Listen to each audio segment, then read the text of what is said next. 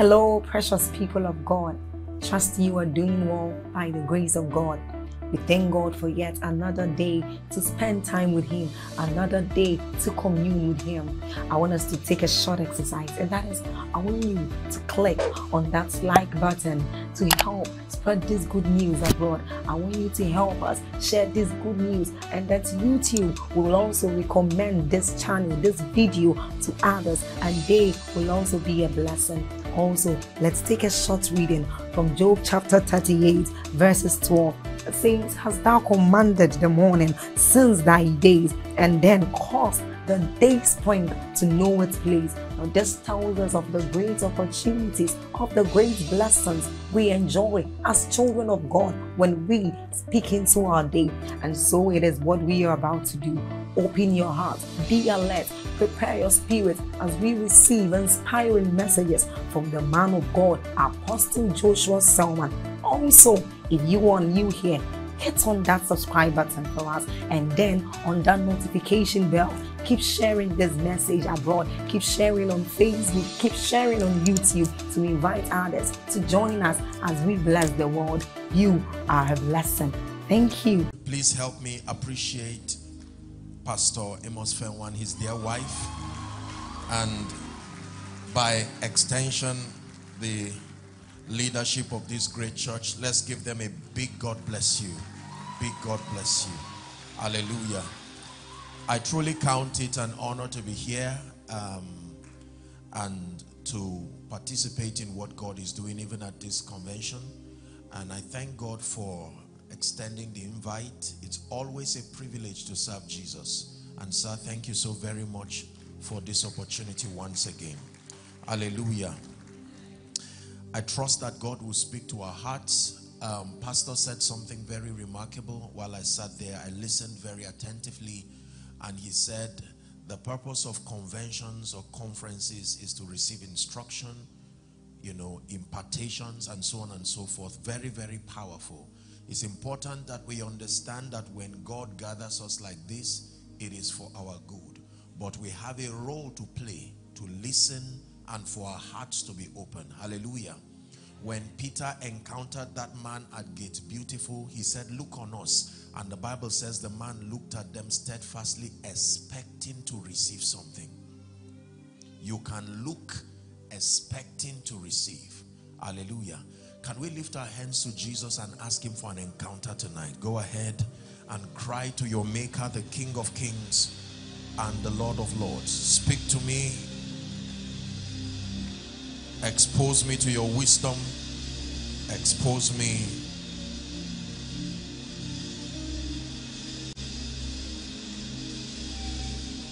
to your light.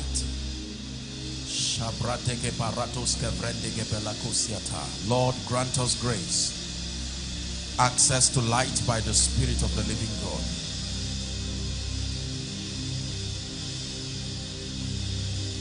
For in Jesus' mighty name we pray. God bless you. Please be seated. We rise in this kingdom on the strength of the light that we have access to. It takes more than a sincere desire to rise and to excel in this kingdom.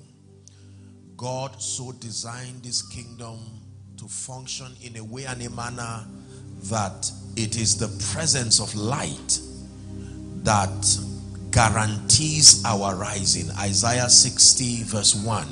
It says, Arise, shine, for your light is come, and that the glory of the Lord is risen upon you. So if your light does not come, there is no rising. Ezekiel chapter 2 and verse 2 tells us that when he speaks, there is an energizing of the spirit that can step into the life of a man and grant that man the capacity to rise.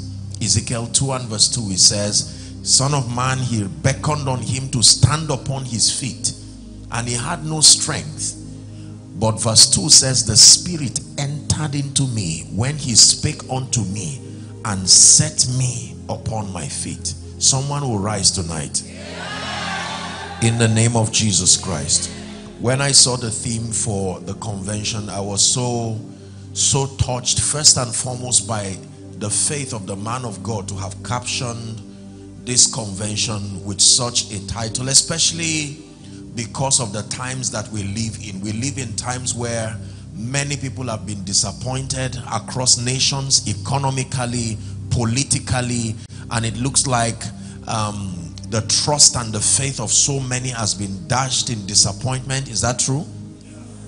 Seems like there's been all kinds of despair, not just from a political standpoint, spiritually, and you travel from nation to nation and you see that the, the despair seems to be the same. It's a common thread that moves across many people asking, is God still alive? Many people asking, is this how my Christian experience will be?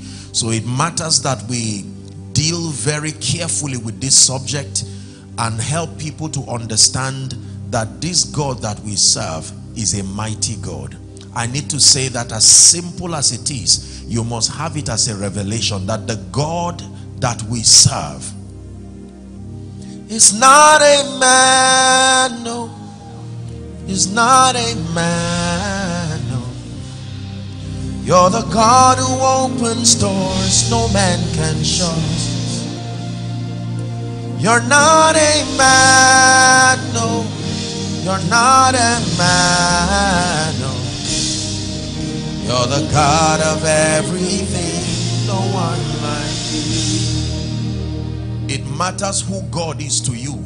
Jesus was speaking to the disciples and he said, Who do men say that I, the Son of Man, am? And they asked, they said all kinds of things. Some said you are Elias, some said you're one of the prophets who reincarnated. He said, But you have walked with me. What is your own testament? And he was shocked that even those who walked with him did not know who he was. And Peter, speaking by the Spirit, said, I know. He never said, We know. Because when it has to do with the revelation of the power and the might of God, it's not a corporate thing. It has to be a personal revelation. It says, I know who thou art. Thou art Christ, the Son of the living God. And he said, flesh and blood has not revealed this to you, but the spirit of my father. And he said, thou art Peter, and upon this rock I will build a church, my church. I will build my church upon the rock of revelation. You see, not just a man, that the dexterity, your stature and dexterity in the kingdom is predicated upon the depth of your revelation. The sons of Sceva casually went and tried to bring deliverance to the demoniac and he made a very serious statement. The man under the influence of the spirit, he said, Jesus, I know. Paul, I know. He says, who are you? In other words, we do not see you sustaining that pattern of revelation before manifestation. You are trying to administer deliverance, but your faith is not standing on anything. So I'm hoping that within the few minutes we'll have to share that God is going to expand someone's understanding of God so that it will swallow away the doubt, the unbelief, shut down the voices that the devil may has may have you know uh, declared unto you that you are now receiving anything that God did not say is a lie. The definition of a lie is not an untrue statement based on anything. It is what God did not say. The moment God did not say it, it is called a lie. Are we together? So the Bible says, let God be true and every man a liar. Men do not have to be wicked to be liars. Is that most people do not have the power to make what they say come to pass. That's what makes them liars. God cannot lie because he has the power to make anything he says come to pass. So if God calls you lifted, that statement can be a lie if it does not have the power to sponsor that statement. The reason why we say God cannot lie is not that God does not lie. He cannot lie because the power component that insists that he remains true still resides with him. So before God makes a statement, there is already the power component to insist that what he says comes to pass. Is that not powerful? So if God says you are lifted, regardless the surrounding circumstances, there is an ability within him that when released can veto the, the circumstances and insist that what he says is what happens. This is very, very powerful. This is what I believe about God. Please pay attention now. There is nothing you cannot do. Help me.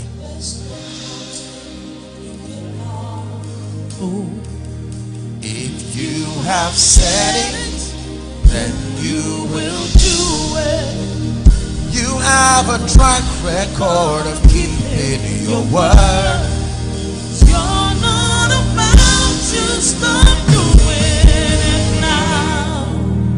So, tonight, very briefly, journey with me to the school of faith and let's look at a few things that the Bible has to say as we brace ourselves to see the God of all possibilities work wonders in our lives.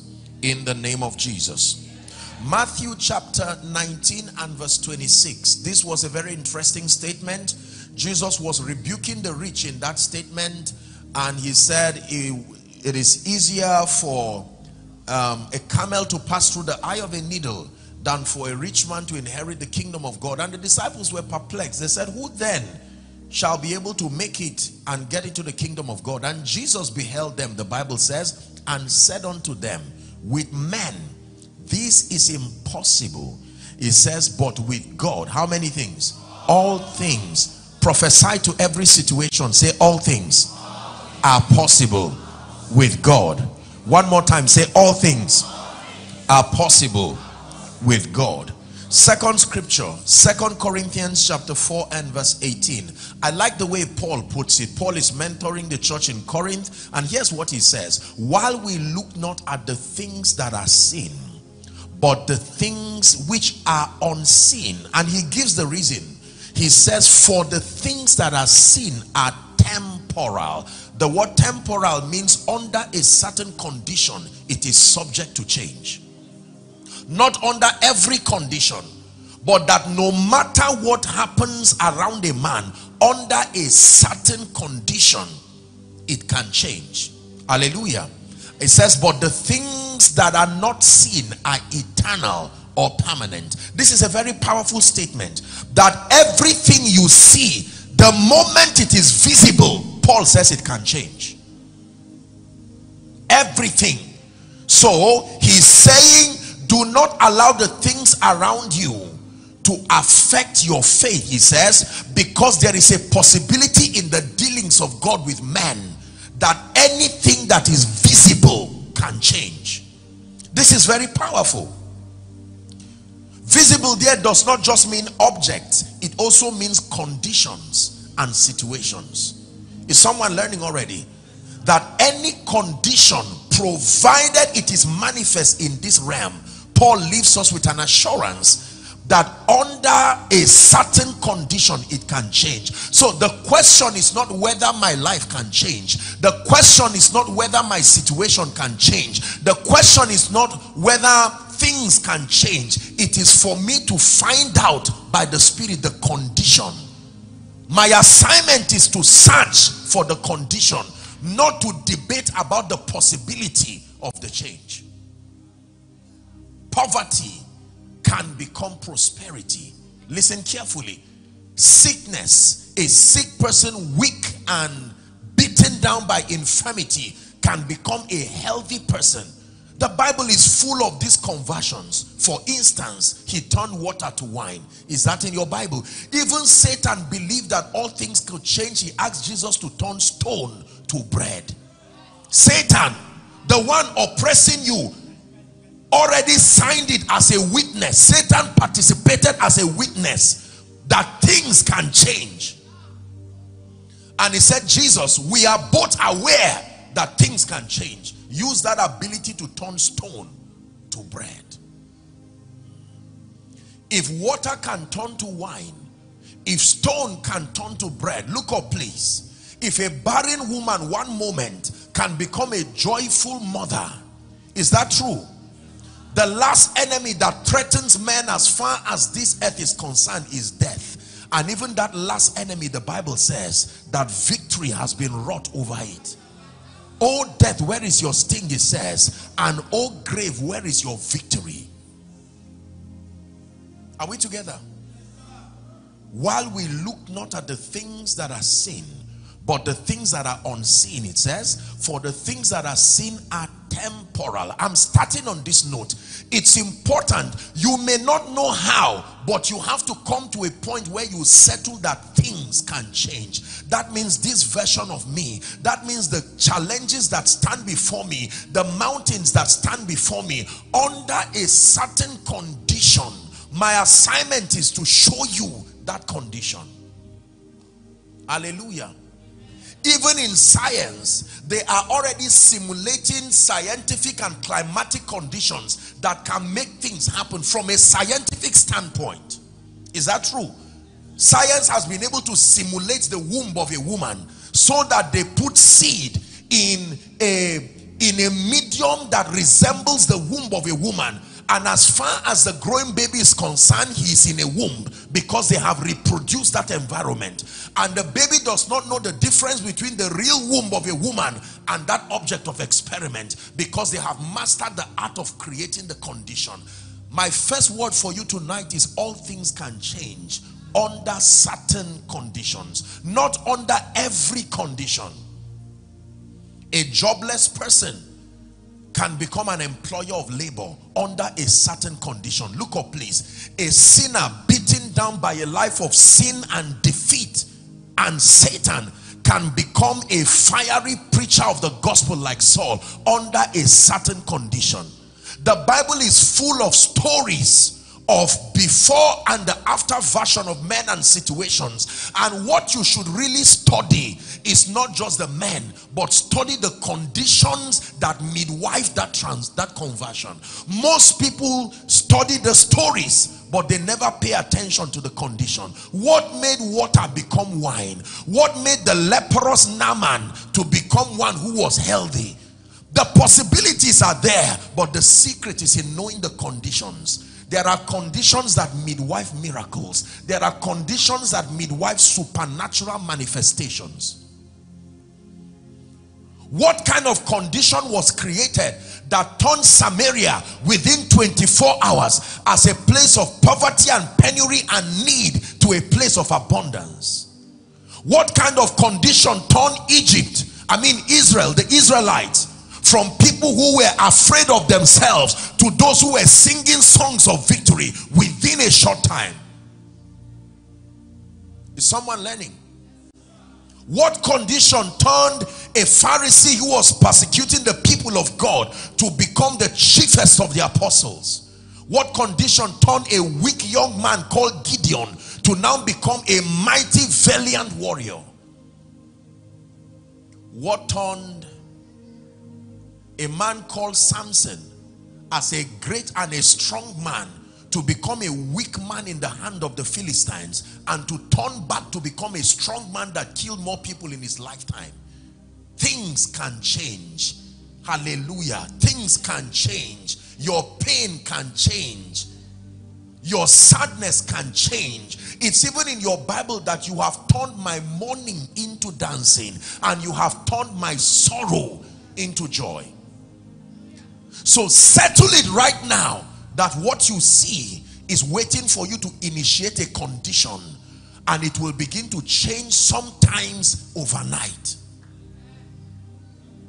There is nothing you cannot do. There's no, There's no mountain you cannot move. If you have said it, then you will do it. You have a track record of keeping your word. You're not about to stop doing it now. Are we still together? Remember, we're in the school of faith now. So Paul is saying that anything you see that is manifest can change. Watch the wonder even in the kitchen for women who cook.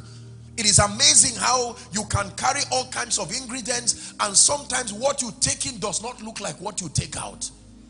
Because a conversion happened. Sometimes it will need fire. Sometimes it will need refrigeration. you you call yourself a chef because you have mastered the art of simulating conditions. Conditions that produce outcomes. Are we together? A doctor will look at a patient and say, okay, we see there is still a way around this. There is something we can do concerning this. And he now begins to introduce a condition. For some, the condition may be surgery. For some, the condition may be a bypass. But by all means, he can use even a scientific means to restore. Many of you have used the GPS system. Is that true? And sometimes all you need to do is to plot where you are and where you need to go. The moment you feed the destination, it is the assignment to now begin to route roads. And sometimes in routing roads, it can meet a point where maybe the gate is locked and whatever it is, you will never find it complaining immediately without wasting time it begins to reroute and tells you well there may be an extra 15 minutes but i have found another way. Let me prophesy to someone. Regardless what the devil has done in the name of jesus we come by the god of all possibilities that god himself is turning things for your favor turning things for your favor putting laughter in your mouth. In the name of jesus christ. Please sit down While we look not at the things that are seen, but the things that are unseen. For the things that are seen are temporal. The jobless situation that is seen is temporal. The barrenness situation that is seen is temporal.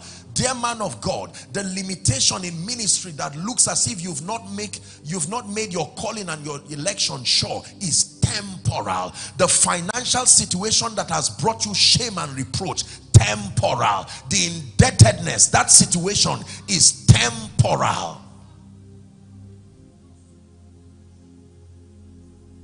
The bankruptcy of the anointing upon your head and your life temporal. The child that is making you to lose sleep, temporal. The condition remains until you find out what it takes to change it. Journey with me very briefly as we walk with the Spirit through the school of faith to learn how we convert things how we convert pain to testimony, how we convert darkness to light. There is a spiritual system of conversion, and this is what I want to show you. Are you ready? Ezekiel 37. Thank you, Lord Jesus. We'll start from verse 1. Ezekiel 37. Now, there are not many times in scripture where we have a direct mentorship session as far as faith is concerned.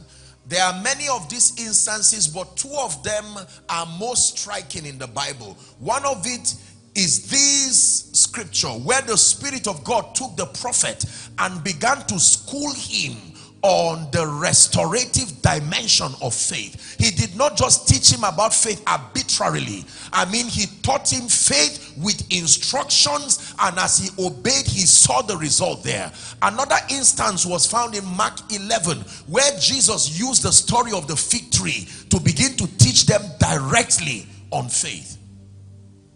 Hallelujah. So in Mark chapter 11, he used faith to destroy something.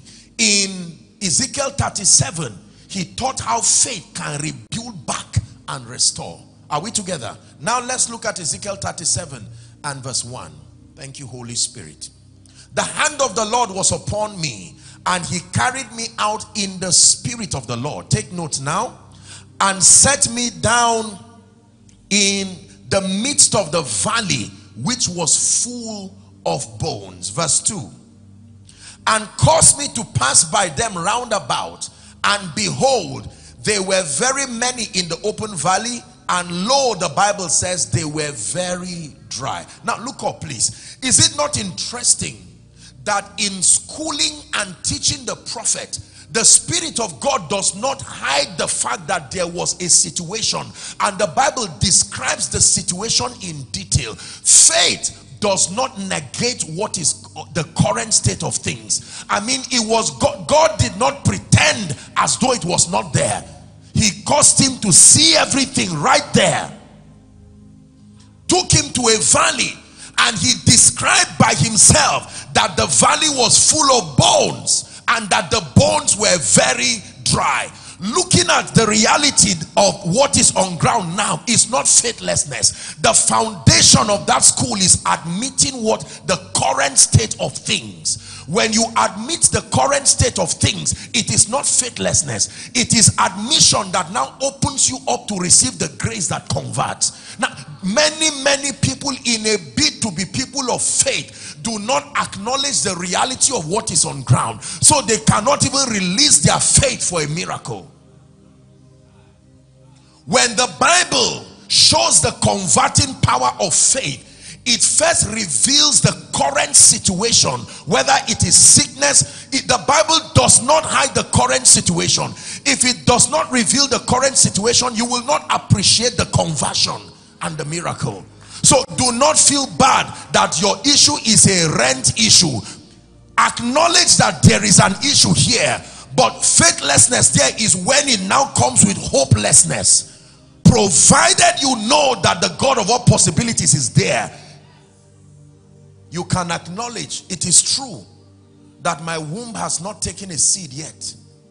It is not lack of faith. It is true that i have bills to the hundreds of the thousands and the millions for my children. It is true that i may not yet be in my house right now. Is someone learning now?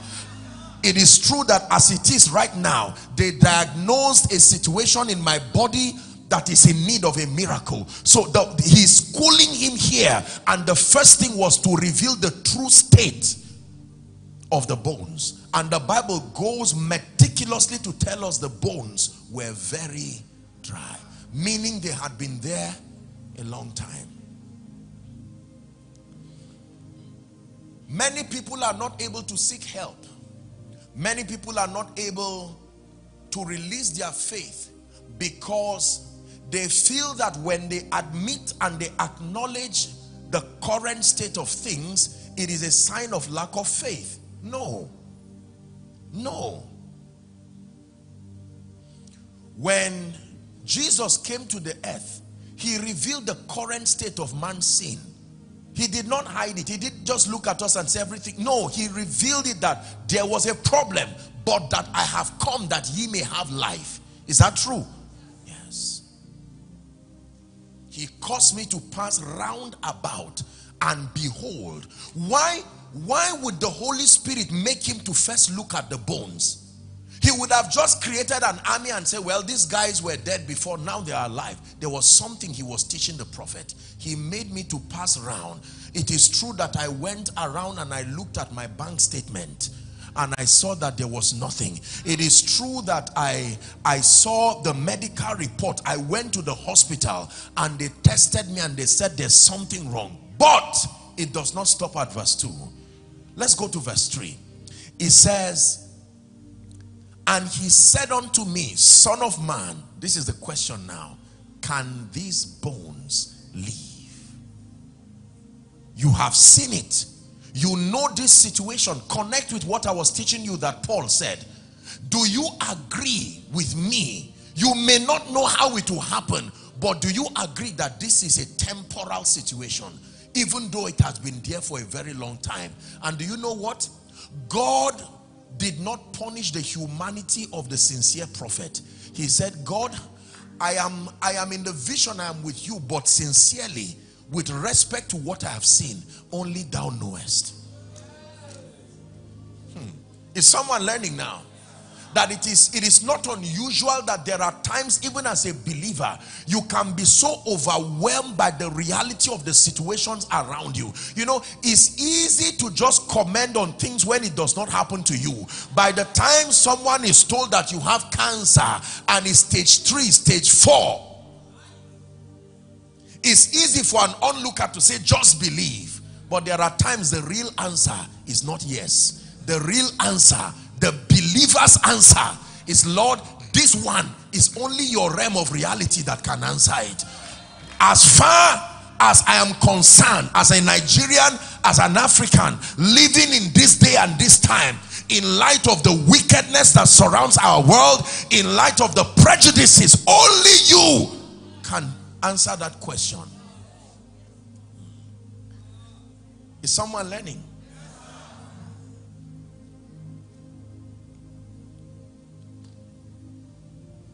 There are situations that can overwhelm men and overwhelm their lives. Bring them to points where they literally, even as a man of God, there are times that you can be so overwhelmed that you do not even know where will these bills be paid from. After teaching so much on faith, then you go back and it's you and God. Read what Moses did. When the people stood in front of the Red Sea, Moses calmed them down and said, listen, these Egyptians you see today, you will see no more forever. Then he went to God and was crying. Give us Exodus 14, 14. Please give us Exodus 14, 14. Let me show you something. Okay, let's do 13 and 14. Are we together? Help me, please. Now, Moses is encouraging the people in verse 13. Fear not. Who is speaking? Moses. Fear not, stand still and see the salvation of the Lord. He says, which he will show you this day. For the Egyptians whom you shall see this day, you shall see no more forever. Say amen. Verse 14, the Lord will fight for you. What a courageous leader. And ye shall hold your peace. Shocking. Go to verse 15. The Lord now said to Moses, why are you crying unto me? After encouraging the people, after declaring as a leader, now it's not pretense. I am just telling you that there are realms where you are overwhelmed. The man was doing the, the needful that leaders would do. Calm them down. Speak words of faith. And then he went and said, Lord, 2.5 million people are at my neck. I don't know what to do with this Red Sea. I have been able to calm them down. And God was telling him, did you not believe what you told them? The Lord said to Moses, it's in your Bible, wherefore criest thou unto me? Do you not know that what you said was not a lie? There is a condition that can pass the Red Sea.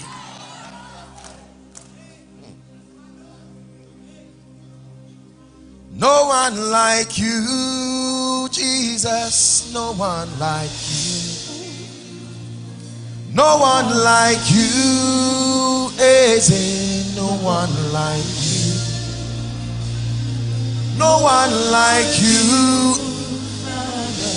No one like you, Master.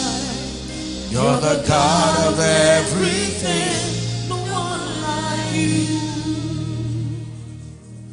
So, just like Moses, Ezekiel is shown a, a valley full of bones.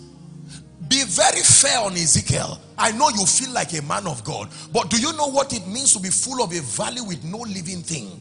Only dry bones. You are the only living thing walking there. I have an idea because I've been kept in a mortuary before to raise a dead body. And I was the only one alive in that mortuary. No, no, no, I'm not, I'm not lying. If I'm joking, I'll tell you I'm joking. And they had to close the door so that, you know, I was praying.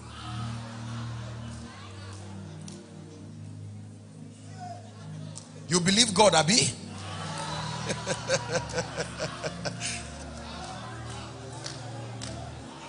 Hallelujah. I remember when I got in there to pray for the, the body that was dead and there were many I stood there I mean the body was like stone. I didn't even know what part of the body to touch to pray.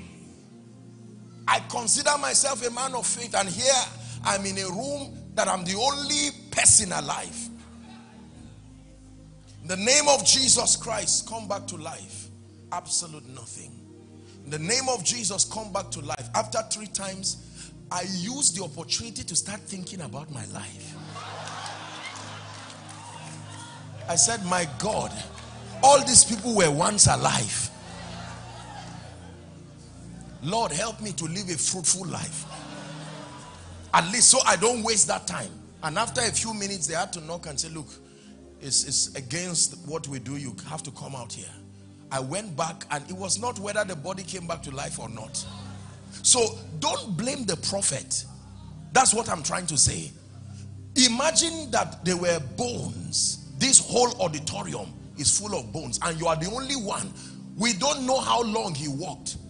Seeing the bone of a child, seeing the bone of an adult, seeing the bone of one who probably was a professor before, seeing the bone of one who was vibrant, and then a voice comes, son of man, can these bones live?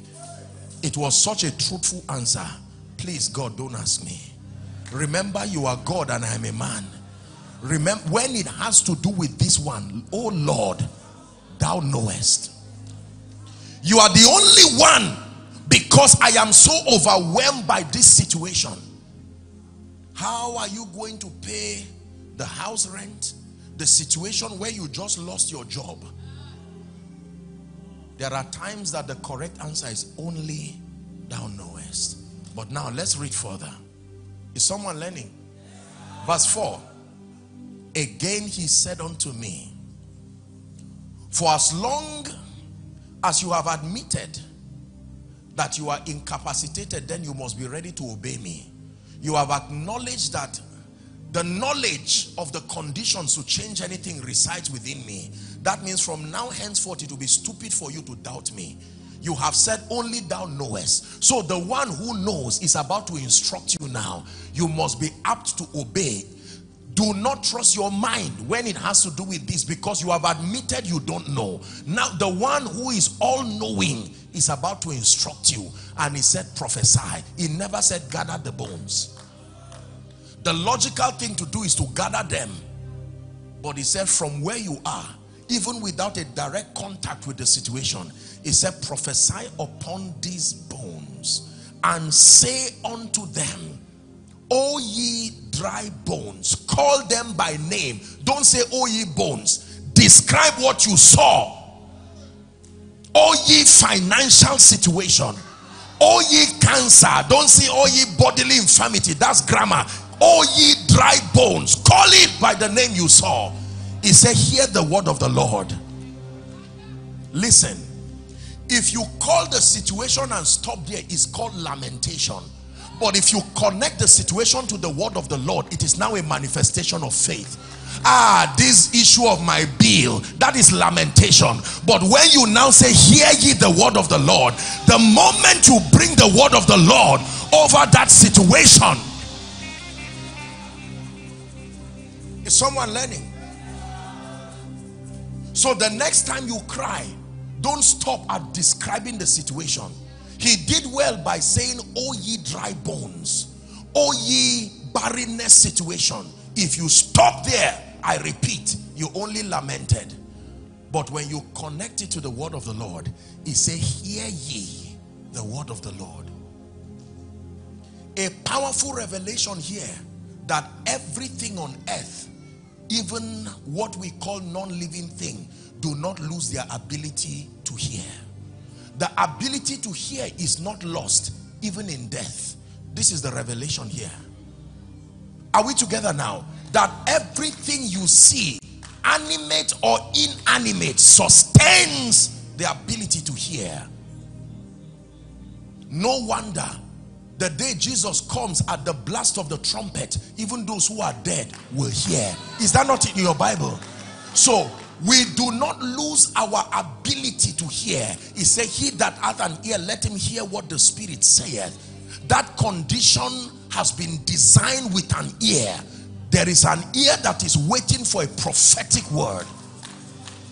Hear ye the word of the Lord, it says, verse 5. Thus saith the Lord God unto these bones, Behold, I will cause breath to enter into you and you shall live. Verse 6 now. It says, and I will lay sinews upon you and I will bring flesh upon you and cover you with skin and put breath, it says, in you and ye shall live and ye shall know that I am the Lord. Verse 7. He now told him what to say. He had revealed the condition for the change. It was up to the prophet to believe. Do you know the bones never change as God spoke? The bones only change as the man repeated what God said. God was speaking and the bones acted like they did not hear. But he says, so I prophesied as I was commanded.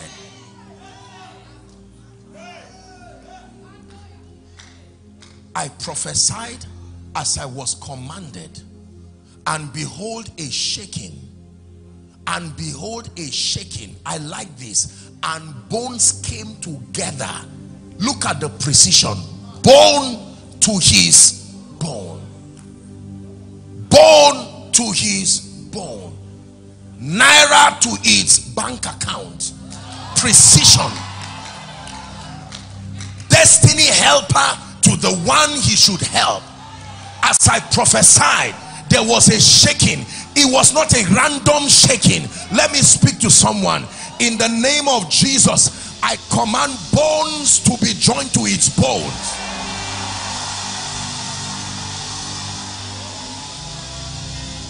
Listen. Please make sure you are not distracted. I'm showing you a very deep spiritual mystery. Otherwise you will live a very defeated life. Son of man, can these bones live? Son of man, can this situation leave?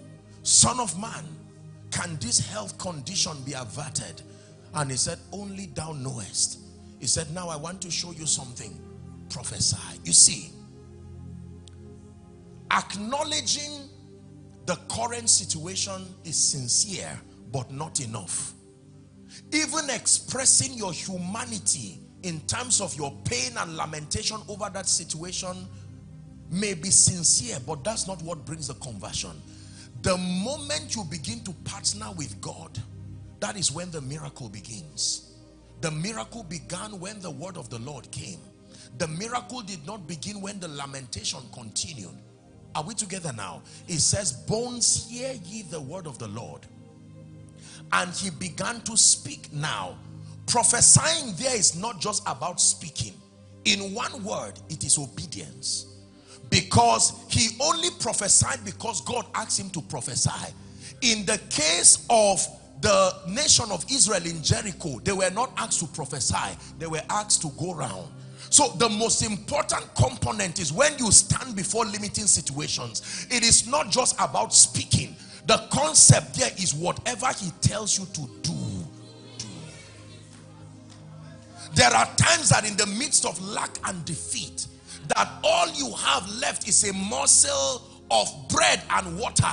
And God will say, take from it and feed the prophet. That is the miracle. Now, that, that does not make sense under that condition. But this is the God that we work with. Somebody say obedience. Shout it, say obedience. Can I tell you, the moment you find yourself in a difficult and a negative situation, attempting to suggest a solution will only prolong your pain. Let me repeat it.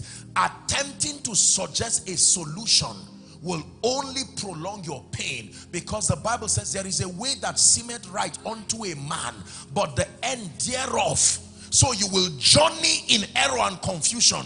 And after multiplying your pain, you will find out that you've added to the loss. You've added to the pain. The Bible teaches us here that the moment you find yourself in an unpleasant situation, stop acting until the word comes. Whatever you will do to secure a word from God becomes your bailout system. Moses understood this and he said, Lord, we are not living from here. I know the, the tragedy that will befall us. Joshua, can you imagine that these guys came to defeat Jericho? The Bible talks about Jericho. Sit down, sit down, sit down. Sit down, please. The Bible talks about Jericho. Look up, please. That Jericho was shut. Nothing came in and nothing came out. The fence of Jericho could host five chariots and you want to come and fight such a people study the security architecture of Jericho. I've read it. You read read Joshua chapter 1 2 and you will see the the the, the, the security masterpiece that when the spies came in they smuggled themselves to meet Rahab and with precision the news got to the king and said some people had come here Look at the kind of security architecture. These are the kind of people you are coming to defeat. Not without a divine strategy. Is someone learning? And Joshua remained helpless, remained like a fool until the captain of the Lord's army appeared before him and he said, let me give you a strategy. Here is the strategy. Circumcise the men first. You are not going to carry that impurity and go to bring down Jericho. Because what you see as a physical sense, fence is shrouded in a lot of spiritual mysteries. You will need that circumcision so that your partnership with God can be in place. And he circumcised the men. And then a strategy came. What was the strategy? You will go around Jericho. Look at how stupid. Imagine you have a leader leading you. I hope you know that thing was not a parable. It actually happened one day on earth. That mighty warriors were led by a man who claimed he had God. And he said, this is what we are going to do. Seven days. We'll go around and just watch them going around. And people in Jericho were saying, what is wrong with these people? They won. No noise. For the prophet, he said, prophesy for this one, he said, go round. The most important thing is to hear what he says to do. Don't assume because you prophesied yesterday, that's what he's asking you to do today. You must wait to hear what he says. Are we together? It is by that power of the prophetic that God brought you to this solution arena. And they went round seven days and then the next instruction came. Now, you are going to go around seven times. And after the seventh time you are going to shout. Don't fight. Shout. And the bible says after seven times they shouted the word tehillah the shout of the king. And the bible says jericho sank. It didn't fall. It sank by what architecture, by what mechanism, ladies and gentlemen, did a physical building sink down like an earthquake, just like that? The God of all possibilities. But you see, if you were asked, can Jericho fall? Your answer would be like Isaiah 37. God, with this kind of architectural masterpiece, only thou knowest. Can I tell you, the moment a situation looks too difficult to fight physically, it means physical strength is not what you will use to defeat it. Are we together? Naaman was in a situation, the Bible calls him the captain of the Syrian army. He was a valiant man in war, but the Bible says he was leprous. One of the slave girl that they caught from Israel came to serve his wife. And one day she said, oh, that my master would go to so and so a prophet and he will be cleansed from his leprosy.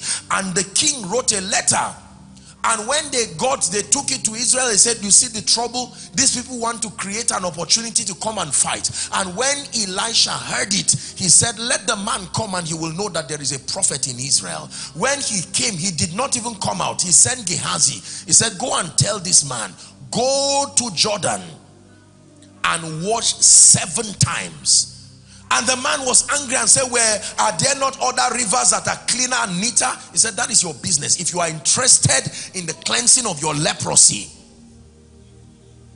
I have given you a word from God. And the lady encouraged the man and said, Please, why don't you go and respond so? And the Bible says he went there. The instruction was seven times. If he washed himself six times, he will still go back leprous. The Bible never said he was improving with every bath. Even at the sixth time, he was still leprous. It only when your obedience is complete. Said having the readiness to judge all disobedience when your obedience is complete. And he came out the seventh time. And the Bible says that his skin was like that of a baby. How about Jesus Christ teaching his disciples and the tax collectors came to embarrass him and say you claim to be a righteous leader and you're defaulting in your tax. Isn't it amazing? This is a powerful revelation. Every time you are serving God sincerely, the devil will use finances to want to come and embarrass you. Jesus is teaching And here comes the tax collectors to embarrass him in front of his audience. And Jesus said, No problem. We will give to Caesar what belongs to Caesar. Now we're in a tight corner. There is a need for a miracle. But I'm the God of all possibilities. Ordinarily, you should not get a coin with a fish. But because I am the God of all flesh, go to the sea, catch any fish, provided it is the first. Open the mouth, you will pick a coin out. Now, listen, that is not how to get money every day. But with respect to this situation, the God of all possibilities can bend laws to bail you out. The way to get it every day is wisdom but that there are times you don't even have that time. The way to eat bread is to go to the farm and be patient and farm and wait for harvest. But there are times you will need manna from heaven immediately because you will have to survive. The one who gives increase to your harvest and supernatural supply of prepared blessing is still the same God. Is someone learning now? Yes. And they remove the coin and they paid their taxes and that was it let me tell you the truth provided you are alive and you live in this world ladies and gentlemen i want you to hear me you will be confronted with situations sooner or later personally or corporately that will stand before you as a mountain.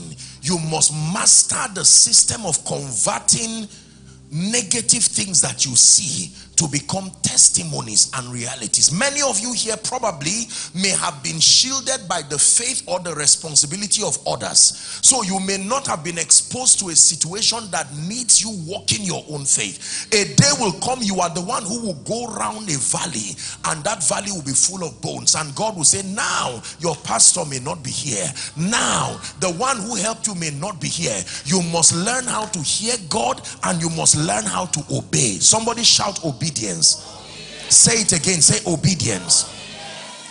The difference between people who continue to wallow around in failure and others who seem to be excelling unusually and supernaturally, I submit to you, is the word of the Lord. This is what makes the difference. That for others, they have mastered the art of staying till his word comes. Because making costly assumptions saying all kinds of things and doing all kinds of things i repeat will only multiply your pain. For someone you are in a financial situation just getting up to assume that i need to start a new business quickly to pay my debt you may be in error. You have to go to the one who knows and stay there and pray and travail. The first thing that happened to the prophet was that he was in the spirit not in the flesh. That kind of solution does not come in the flesh. He took me in the spirit of the Lord. You must be positioned. Same thing happened to John. John was caught up in the spirit. Every time you are in the spirit, solutions come. Did you hear what I said? Every time you are in the spirit, solutions come. Lord, how is it that these this business is not working how is this that my life I, am colliding with tragedies from pillar to post? There must be a way out. Now our generation calls shutting down laziness because we are used to activity without divine direction.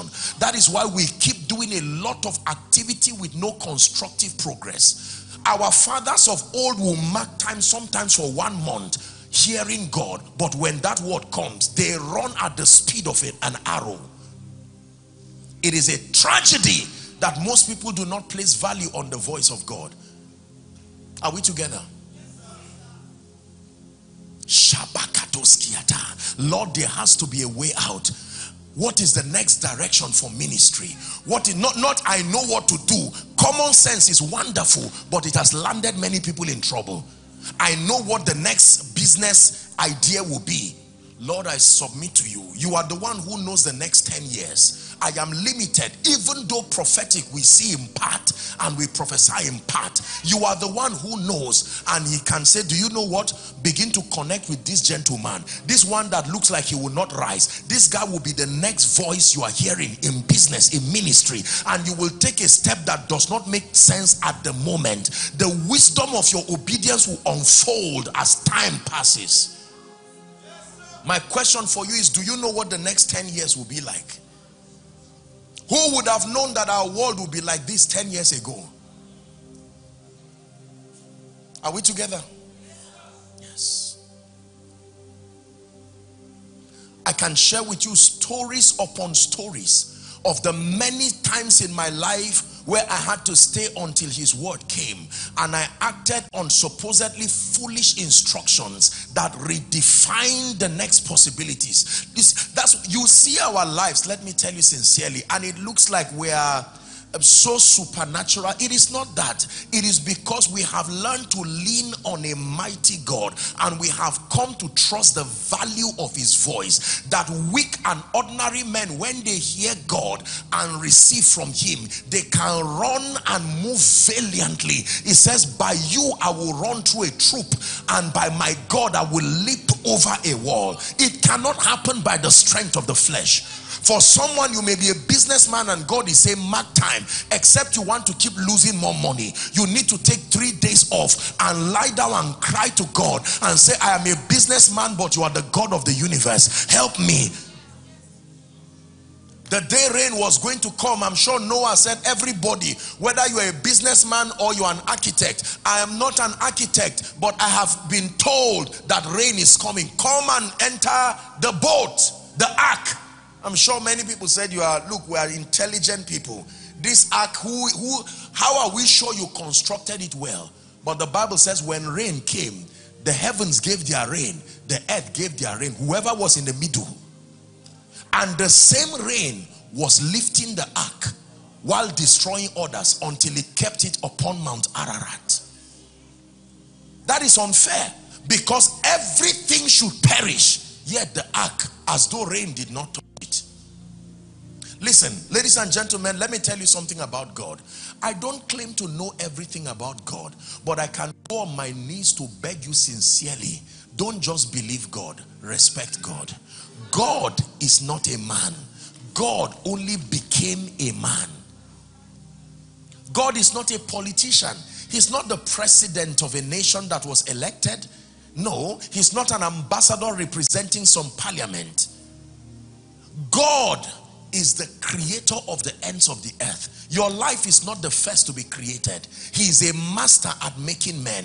Did the Bible not say, I will lift up my eyes unto the hills? He says, from whence cometh my help? And he said, my help cometh from the Lord, the maker of the heavens and the earth.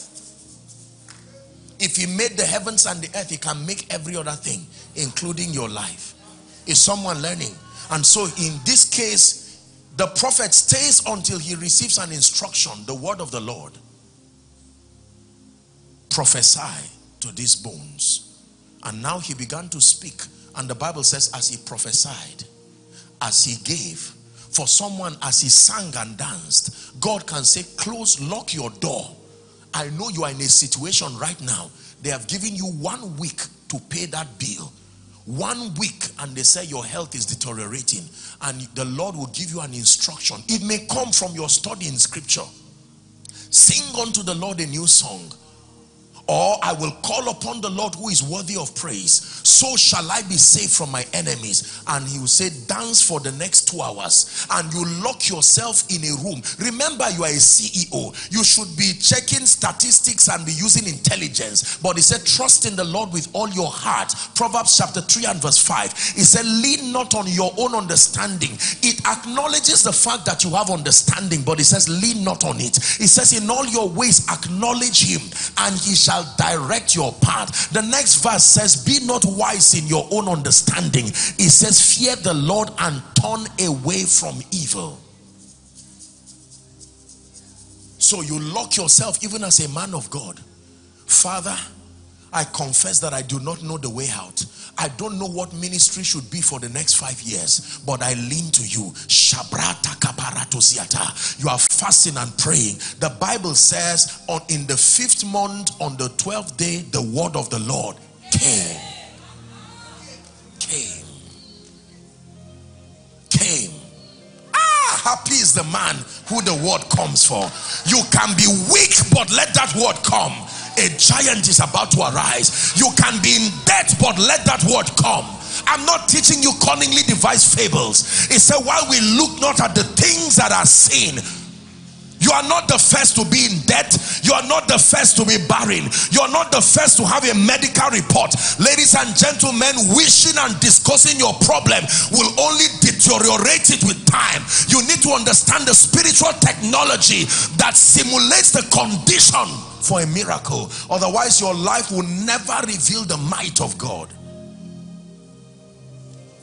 Hallelujah. Praise the name of the Lord.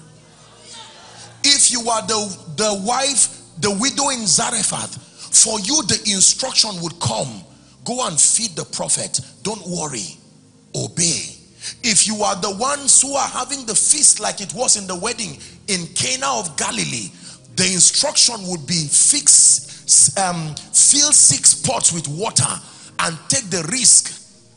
Put your life on the risk to go and serve the ruler. If those rulers had tasted water, they would have hung those guys. I hope you know that. Esther, if you are the one who is changing the negative verdict of Haman, you may need to break some rules and enter to see Ahasuerus, even though not invited. Just be sure that he's the one who spoke. We look to Yahweh, Yahweh. Our hope is Yahweh, Yahweh.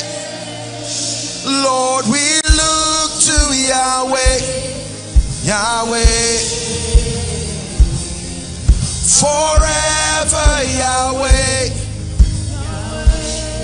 Listen, provided you could look to him. Imagine if the prophet took initiative in that valley and said, You know what? I'm a prophet. Bones respect the presence of a prophet, he would shout for nothing. It was not the speaking, it was the obedience. It was not the word of the prophet that brought them back to life. It was the word of God spoken through the lips of the prophet. Many times when you walk with God, you see, the way of the spiritual man is very, very strange because many things in your life will not make logical sense. Yet the miracles that your life will continue to command will first surprise you and then all the people that follow you. It is true.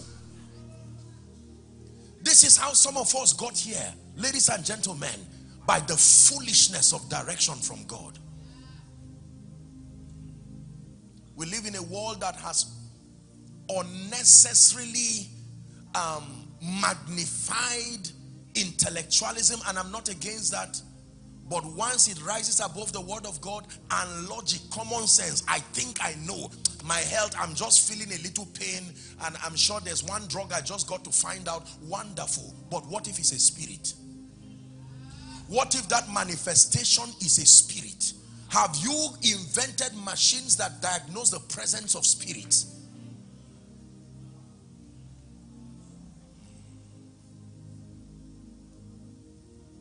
The woman with the issue of blood, we're going to find somewhere to pray. The Bible says she spent all her earnings on doctors. She was not a careless woman.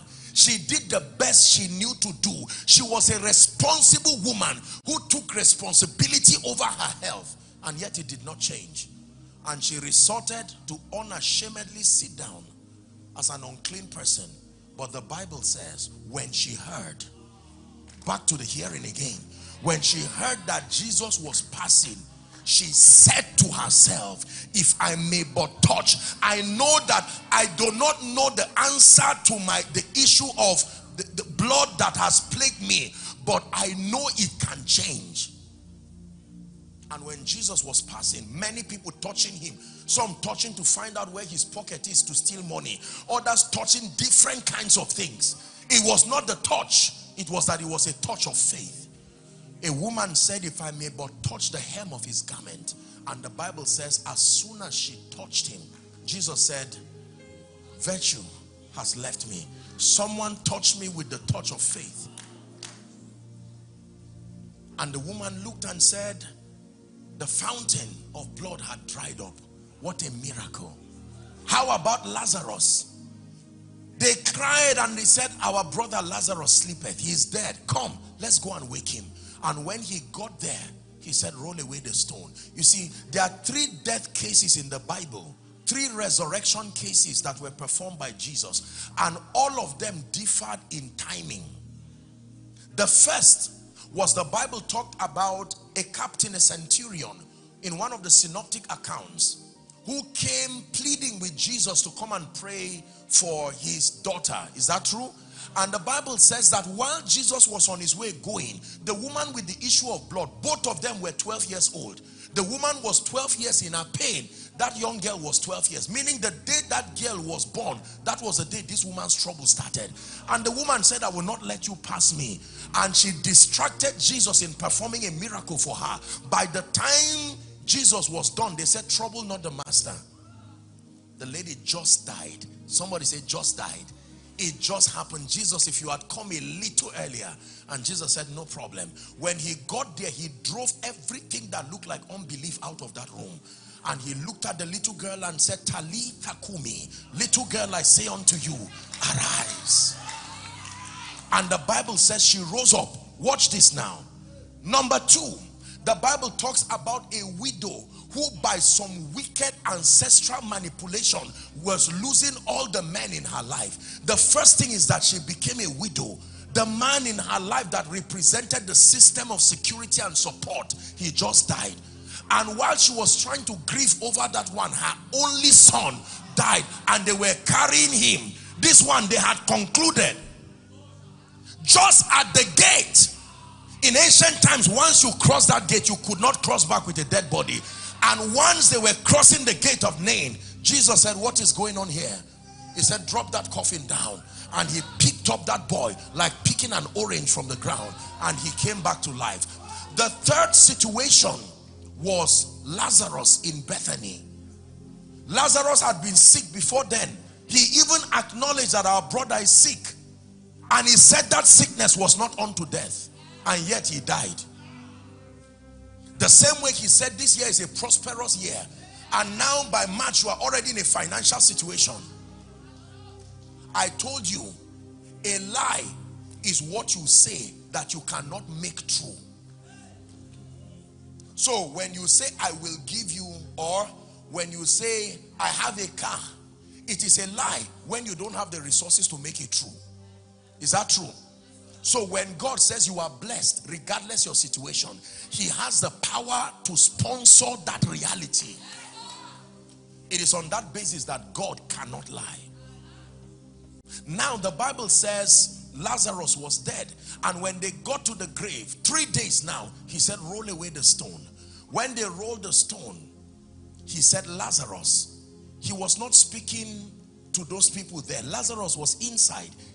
Remember the hearing thing again. Everything can hear. And he said, Lazarus, come forth. And they thought he was playing. And they saw a man bound hand and feet in grave clothes. How he was breathing when he was alive. Because the way they embalm people, even if you are alive and you are playing, you will die. Are we together? Yes, sir. And a man came out. So how was he breathing? He said, lose him and let him go. And they loosed him and he went. The God of all possibilities. Showing himself every once and again. And the ultimate of that manifestation was when Jesus himself died. After three days, it looked like everything was over. It looked like Satan had defeated him. And Paul gives us the gist of what happened in hell. That all the powers and principalities were compelling him to bow, acknowledging the lordship of Satan. And that when the legal claims of justice was now satisfied, that he made a public show of them, triumphing over them in it. Is that true? and he preached to the saints there and the bible says they believed and he opened the prison gates according to peter's epistle and they all came out on the third day, an angel came and rolled the stone and sat on it. One of the synoptic accounts says, and the spirit that raised Christ from the dead, Jesus Christ got up and arranged his grave clothes. He was not in a hurry. That is dominion. He arranged his clothes nicely and neatly from the grave. That means order can start even from the grave. Are we together?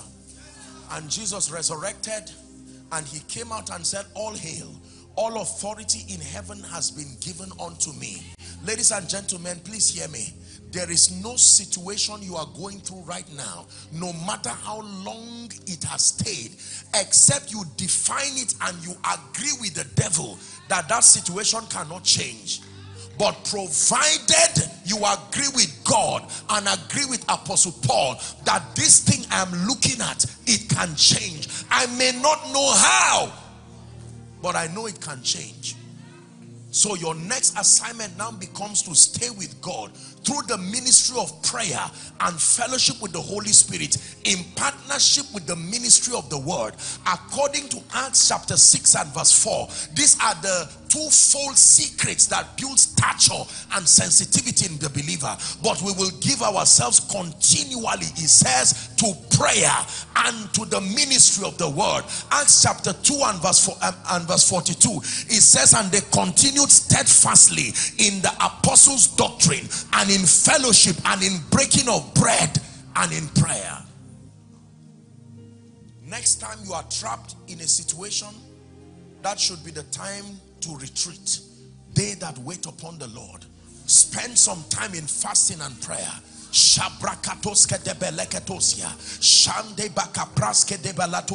Lord, this situation, my father is sick, my mother is sick, my daughter is sick, I just lost my job. The Bible says, while we look not at the things that are seen, I know there is a way out. I accept responsibility. Whatever it is that I'm not doing right, open my eyes that I may see. And you are praying in the spirit, and the spirit of grace will rest upon you and say, This is it. There is a destiny destiny helper that you dishonored five years ago, that was the person who was programmed by God to lift you and to raise you. Like Hagar, go back and make peace with that destiny helper, and the person will lift you up. I have placed favor upon your life. You may go back and say, Uncle, I'm sorry for insulting you five years ago. And the man will say, I had a dream before you came, and God said, When you arrive, I should open a door for you. There is always a way out.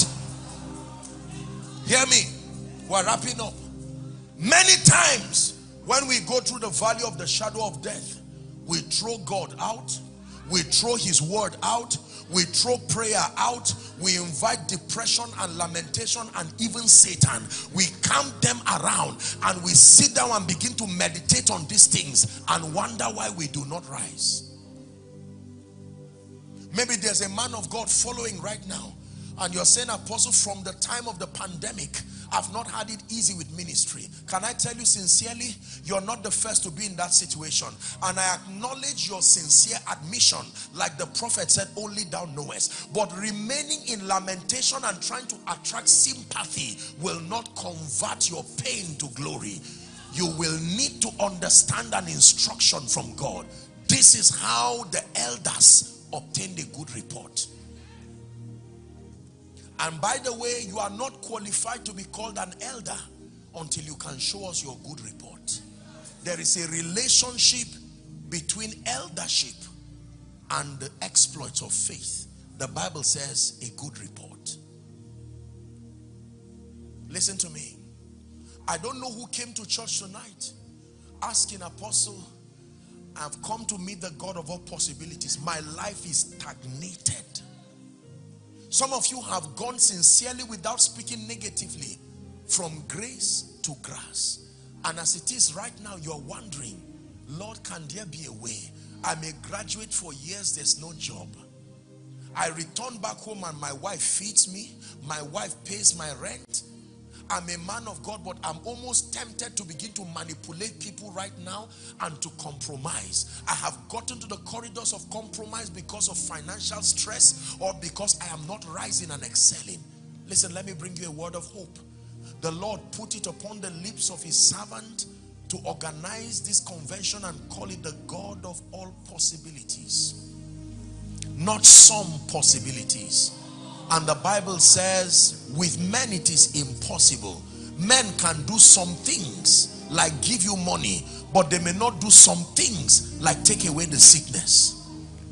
But there is a God that is able to bring all possibilities. When there was darkness and chaos in Genesis chapter 1 and verse 2, The Bible says the Spirit of God hovered round the face of the waters and the word of the Lord came again. Light We're about to pray. I came tonight to stir your heart, to let you know that the situation that now mocks God in your life, your family, is at the mercy of your understanding the spiritual technology that converts water to wine, that turns leprosy to glory. You must understand. Number one, it is not sinful to acknowledge the current state of things. You can sit with your wife and say, listen, there are bills. Listen, the ministry is not rising. Right now, they've diagnosed me. They've said I am SS. They've said I am um, whatever it is. I have some kind of blood condition, maybe HIV, maybe traces of cancer. The mammogram is already saying something evil. Admitting the current state is not lack of faith, but endorsing the current state and not speaking the word of the Lord upon it is a difference between lamentation and declarations of faith. Oh ye dry bones, when you describe it so excellently, don't stop there. You must connect it to the word of the Lord.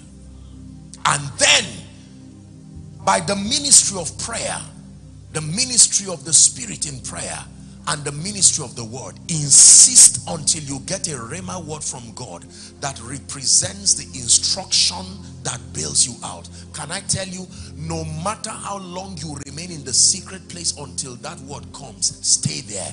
It will be cheaper than the losses you will incur as a result of assuming the voice of God. Every time we take steps outside of the voice and the direction of God I assure you we only program pain and tragedy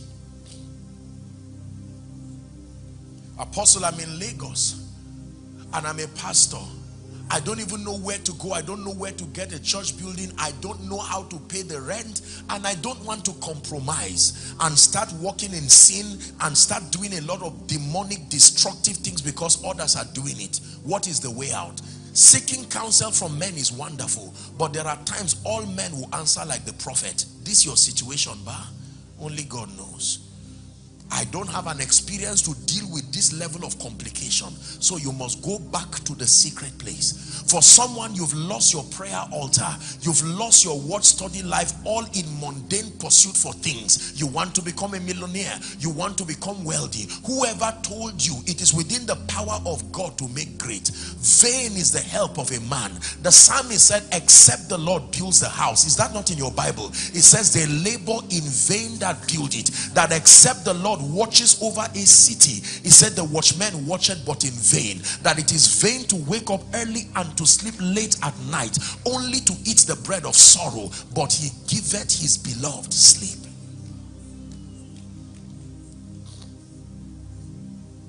God is able to lift men. Spare me five more minutes and we're done tonight. But I sense very strongly in my spirit that someone came to church tonight to encounter the God of all possibilities. But it will not just happen just by a prophetic declaration. That is coming even now. But listen to me. I just sense that someone has been crying and bleeding. Somebody watching, somebody right here.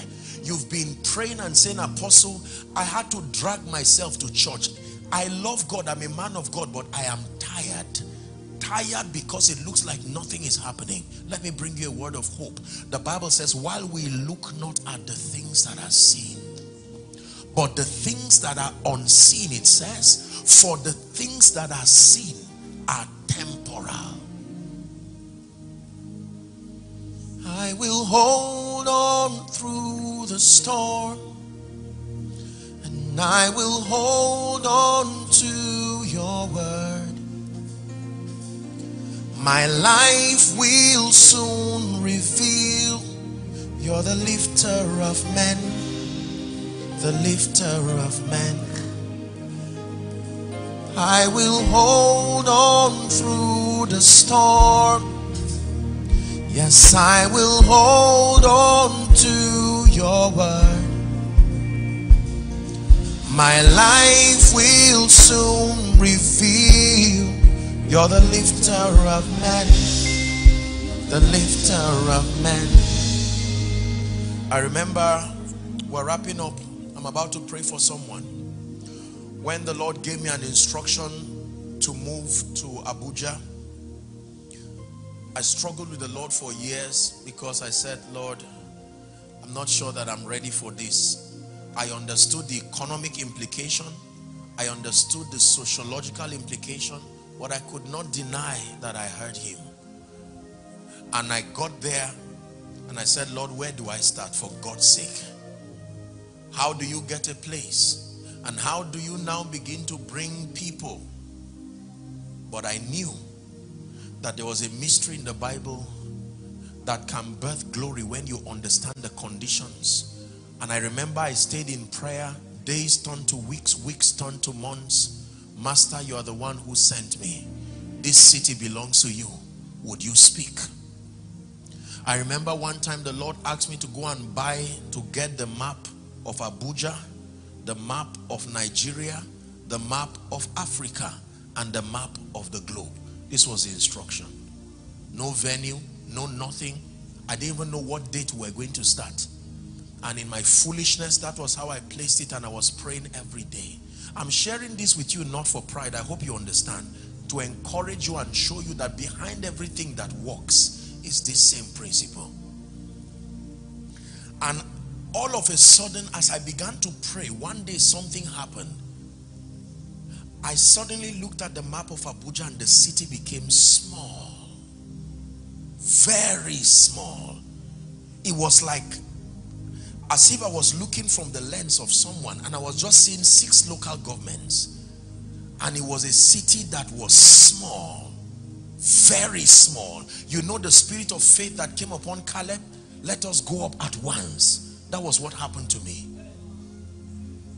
And I said, there is nothing that God cannot do. And the rest, I leave it to God. It is history. To God be the glory. For those of you who follows, we're preparing now for our UK conference. And that is a miracle I was discussing briefly with Pastor the auditoriums and all these places you see that that is used the the bill for those auditoriums can build estates in nigeria without exaggeration you see and god gave instructions staying with him lord what is the secret this is your mandate within about 24 hours of opening doors for volunteers we have about, uh, we had about 2700 workers stationed waiting. Workers, not people attending. When we open the doors for registration, is almost is the, the registration is almost over now, and this is a meeting in May. Listen, I don't say this to boast. I'm only telling you that behind the supposed supernatural manifestation of men is the childlike ability to stay until the master comes with a word. Hallelujah. You can imagine. I cannot begin to share with you the miracles and the manifold blessings and the hand of God, what he's done. Incredible manifestations of his power. I want to pray for someone. There are two prayers that we're going to pray tonight as we wrap up this session. Number one is an encouragement for someone. Listen to me. You have camped around your situation attracting sympathy for too long. Remaining there and hoping people will keep sympathizing while I sympathize with your pain. But it's time for that, the dry bones that you've been hovering around to become an exceeding great army. For sake of time, please can you give us verse 10? Ezekiel 37, 10. He prophesies one more time and breath comes upon the people. It says, and they lived and stood up upon their feet an exceeding great army. Once dry bones, now an exceeding great army. And the revelation behind it is in verse 11 and 12. You may want to quickly look at it. Son of man, these bones represent the whole house of Israel. They say our bones are dried and our hope is lost. We are cut off for our parts. Now prophesy to them that thus saith the Lord God, Behold, O my people, he said, I will open your graves and cause you to come up out of your grave. Is that in your Bible? It says, and I will bring you into the land of Israel. So just lamenting over your financial situation or the barrenness situation, respectfully speaking, or the ministry situation may not do you much. It's time to take responsibility to say, Lord, I am done acknowledging this current situation. It's time to partner with the word of God. It's time to partner with the ministry of the Holy Holy Spirit in prayer and begin to stimulate the conversion that bets glory. And the secret is found in Leviticus chapter 9 and verse 6. It says, This is what the Lord commanded Moses that you should do. Then the glory of the Lord shall appear to you. There is always what God commands that you should do. And when you do it, the glory of the Lord shall appear. Please rise up on your feet.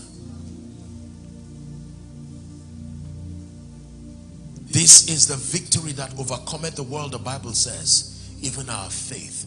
The God of all possibilities, as mighty as he is, depends on the faith of men to manifest his power. Some of you, you have been limiting the God of heaven through unbelief. You have been limiting the God of heaven by not staying with the spirit to obtain strategy that makes for your victory. I repeat to you one last time that vain is the help of man. You can struggle and move from pillar to post only to eat the bread of sorrow. But some of you may need to mark time on the pursuit. I know you've submitted your CVs and jobs are not coming. Minimize running up and down. You have tried. Stay with him. There is value when you stay with him until his word comes. Can we pray? One prayer that I want you to pray from the depth of your heart is grant me the grace to believe in you. Grant me the grace to believe in you oh god. Someone open your mouth and pray. Grant me the grace to believe in you. Grant me the grace to believe in you. I shake away unbelief. I shake away unbelief in the name of Jesus. Grant me the grace to believe in you. Walk upon my faith. Walk upon my conviction. Grant me the grace to believe in you. That you are able. Someone pray for one minute.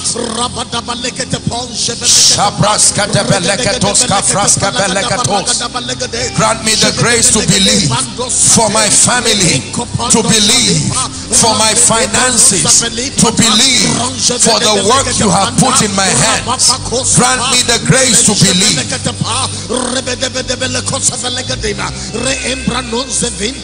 Hallelujah. One time the disciples could not cast out a demon spirit from an epileptic patient. Frustrated they came to jesus and he said, why could we not cast this out? He said, because of your unbelief. You have not trained your capacity to believe God to rise. Listen, there are different levels of faith taught in the Bible. There is no faith. There is little or small faith. Is that true? There is great faith. There is exceeding great faith. These are various levels. And all of those levels command different dimensions of possibilities. Faith comes according to scripture by hearing. The hearing that brings understanding. The more you open up yourself now respectfully speaking let us be careful the way we open up ourselves unnecessarily to antichrist information that continue to dampen our faith. Whether it's the wrong use of social media you can sit down there and absorb all kinds of rubbish. At the end of it your faith has deflated like the tire of a car. And you now want to use it to command victories in the kingdom. It doesn't work that way or you surround yourself with negative people who continue to say all kinds of things. You leave the church with a prophetic word from your man of God and by the time you return you are already speaking like you are not saved. No. I guard my environment very jealously because the decisions that come out of my life affect millions of people around the world. I have a responsibility to keep an atmosphere that is faith filled, spirit filled, and pro destiny. I am very intentional about my atmosphere. Is someone learning? When Jesus entered to resurrect the little girl, he drove all the people who were laughing to scorn. Get out. There are things and people you need to send out of your life politely but firmly to give your environment the kind of atmosphere for the miraculous. Tomorrow I have a session in the morning. Sadly, because of time, I know that many of you have come expecting prayers and impartation. Our time is up, but please, I want to encourage you, do not miss tomorrow. Hopefully, I will just give a charge and I'll have the opportunity to pray. Every time God puts an opportunity like this, a platform like this, among the many things that we receive is not only the revelation of the word and the building of our faith, we give the Holy Spirit room to be able to step in and to heal and to deliver and then for someone to carry a grace that you have so longed and desired. Instructions are wonderful but sometimes what we need are impartations that just activate our destinies for the next level we have to pause for now but i want you to return home prayerfully and determine that in this conference i'm going to receive something from heaven and tomorrow morning that you come early i don't know what time it is tomorrow let me encourage you Someone help me. Nine. If I were you, I'll come before that time and be praying in the spirit. Don't come and be gisting and eventually you start telling lies and found out you've even sinned against God before the conference. That when you come to an atmosphere like this, you settle down and start praying. Lord, as the word comes, I, I receive the, the ears that hear, the eyes that see, and I expand my vessels for oil to come. Are we together? I declare over your life, standing upon the grace of the man of God, the Father and the angel over this house, that in the name of Jesus, the Son of the living God, every situation that has mocked God in your life, brought pain to your life, and made many to say you are Ichabod, in the name of Jesus Christ, let there be a mighty breakthrough for you now. Let there be a mighty breakthrough for you now I stand in partnership with the prophetic unction that is upon this house. For some of you, I literally prophesy over you by this time tomorrow that tomorrow by the time you are returning you will return with strange manifestations of possibilities. In the name of Jesus.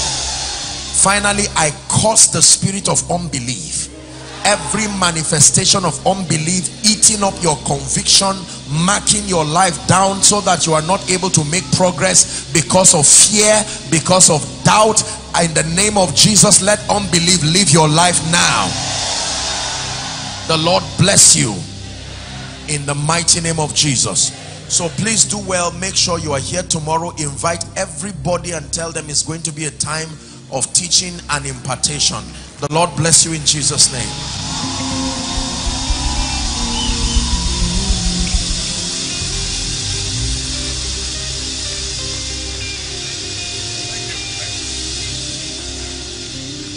Lift up your hands. Lift up your hands. Begin to thank him for what he has done. Between now and tomorrow morning, some of you will see manifestation of his glory. Favor will locate you. Open heaven will come to you. Testimony will flow to you. In the name of Jesus. Move to your next level. Move to your next level. If you come here sick as you are leaving, the sickness disappear. In the name of Jesus. Thank you, Father. In Jesus' name we pray. Say better, Amen. Tomorrow morning between 9 and 1, we have the first section and Bishop, I mean, Apostle will be ministering that time. And the last part of this meeting is all night tomorrow, starting from 9 p.m. to until morning. That will be a prophetic night, and that's the end of the convention on Saturday. Sunday is a Thanksgiving all our branches. I want you to know that God has started something new in your life. The rest of nine months remaining this year, there will be testimony. Say, surely, goodness and mercy shall follow me all the days of my life. I will dwell in the house of the Lord forever and never. Amen. Thank you. God bless you. Dearly beloved, I hope you were blessed by this message. I want you to keep doing something for this man of God, our man of God, Apostle Joshua Selman. And that is, I want you to keep on praying for him that the cause of the gospel may have free flow in him, that he may be granted boldness to continue with his commission of Jesus Christ, and that all provisions be given unto him as he continues in this journey of Christianity. And then don't forget to like this video. Don't forget to hit the subscribe button if you are new here. Don't also forget to leave a comment in the comment section and then keep sharing, keep sharing abroad, and let's all keep sharing Jesus. I'll see you again. Bye.